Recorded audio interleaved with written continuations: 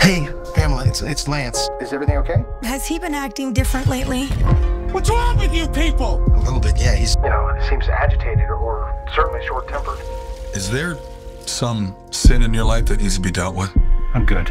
It's not a joke. Something's going on. Yeah, Richard, he, um, well, he hasn't been himself lately. What's gonna happen to me? How bad will I get? I mean, gee, you could hurt someone that you love badly talk back to me. I'll show you who the boss of this house is. Jekyll and Hyde. One minute he's a loving pastor, next minute, guy's a crazy lunatic. How long do you have, Dad? We just don't know, Amy. But I just want you to know that I love you, all three of you. I always have, and I always will. I would stop everything else and take whatever time you have left and live it. Do the thing you love most. I'm already doing the thing I love most.